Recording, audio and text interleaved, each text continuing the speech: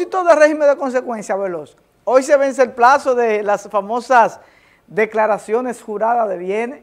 Eri, ¿tú hiciste la tuya? ¿Cuántos millones declaraste? De declaraciones de bienes jurados. ¿Cuánto? ¿Cuánto? Víctor Bellé declaró cuánto fue, en 15 millones o 20. 12. 12 millones declaró Víctor. Y, y esto, Toti declaró unos cuantos millones. ¿Cuánto declaró Toti? La, la de Víctor Puntier. No, Víctor Puntier 50 millones. Señores, miren. Hay que reírse porque ¿qué uno va a hacer? La famosa declaración jurada de bienes. Una poquita, otra abultadas, otra que me equivoqué, otras ratificadas. La Cámara de Cuentas, perdón, la Cámara de Cuentas no dice nada. El presidente Luis Abinader dijo que le iba a dar una prórroga y que los que no hicieran su declaración con tiempo iban a ser removidos de sus cargos, etcétera, etcétera, etcétera. Hoy se cumple, yo no oigo a nadie. No. Yo no he visto revisión.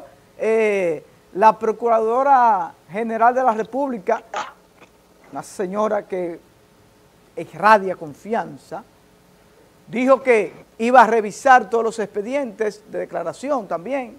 Escuché yo por ahí. Y vamos a ver porque esas declaraciones como que nadie quedó conforme con ninguna. Porque el que no la hizo muy bajita, la hizo demasiado abultada. O, o no tiene con qué justificar, que fue el caso de unos de tantos que salió a colación de la ministra de, de la Juventud, que declaró unos bienes por 70 millones de pesos. sí. Que como que en, cuatro años no hay un soporte de una abundancia de esta joven y que uno quisiera, ¿no? Que el tener dinero no es malo, ¿eh? Ojalá yo pueda hacer declaraciones de bienes de 200 millones. Ahora, lo que está en discusión es que si usted es un funcionario, una funcionaria pública, debe de transparentar que ese dinero ha sido bien habido, no mal habido. Que un dinero que usted se lo ganó trabajando, una herencia, lo que sea. Porque el dinero no es malo, eso es mentira. El dinero no es malo. Lo malo es lo que usted hace con el dinero. Pero si usted lo usa para bien, si usted lo adquirió de buena ley, trabajando honradamente, no hay problema. Si usted no lo adquirió ni atracando, ni robando, ni vendiendo eh, sustancias prohibidas, ni nada de eso, está bien, usted puede declarar todos los millones que usted quiera. Ahora, es justo y necesario que en este país se comience a cumplir el régimen de consecuencia. Hasta que eso no suceda, entonces esos funcionarios que hicieron sus declaraciones de bienes,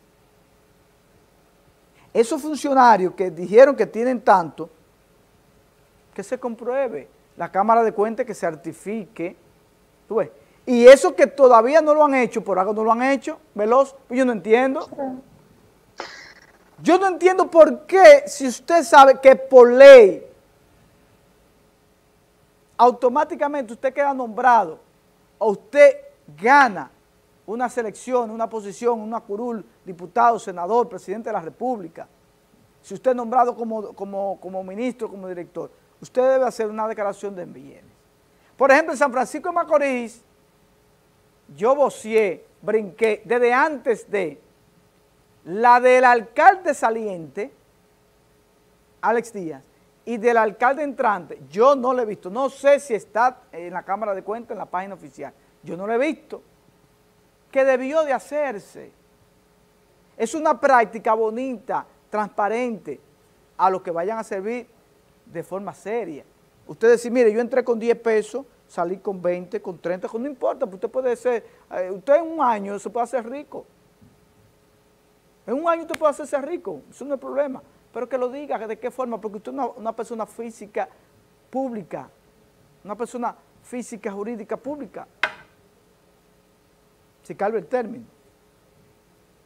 Entonces, no veo régimen de consecuencias. El presidente... Bueno, al, momento, Roberto, alrededor de las 9 de la mañana, solamente 3.617 personas, funcionarios, funcionarios actuales y exfuncionarios habían dado su declaración jurada de bienes. ¿Y adivina cuántas personas faltan? ¿Cuántas? Di número, 3.000. ¿Cuántas? 3.000. 3.000, o sea, que, que casi el 50, casi el 50% no ha hecho su declaración jurada de bienes. Entonces yo quiero saber el, el régimen de consecuencias, que hoy cumple, hay que ser claro y preciso, hoy cumple las personas que fueron nombradas el 16 de agosto, porque recuerda que es 30 días a partir de su entrada o salida del puesto. Pero por ejemplo en el caso de, del alcalde saliente, el alcalde entrante de San Francisco de Macorís, tanto Alex Díaz como Siquio, yo no he visto declaración jurada. No sé si los alcaldes están exentos a las declaraciones juradas. Bueno, Abel Martínez tiene su declaración jurada de bienes en la Cámara de Cuentas. Pero yo no entiendo. Hasta los regidores, esos son los primeros, como se dice, los honorables regidores, deberían de hacer su, declaración de bienes. Es más, voy a abrir la, la línea. 809, póngame el teléfono, señor director, por favor, dentro de sus posibilidades técnicas. El teléfono aquí del estudio, el 809-725-0505. A ver qué opina la gente, si, a, a, lo mejor soy yo que estoy equivocado. Si usted quiere que los alcaldes presenten su declaración de bienes, el alcalde de San Francisco de Macorís, el actual, NG de la Rosa, y el alcalde saliente, Alex Díaz. Su declaración de bienes, para saber con cuánto entran, en el caso de Alex, con cuánto salió, y para saber con cuánto entra el alcalde y saber con cuánto va a salir.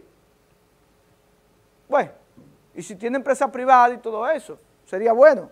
Así que, si usted quiere dar su opinión, nos puede llamar al 809-725-0505, eh, veloz.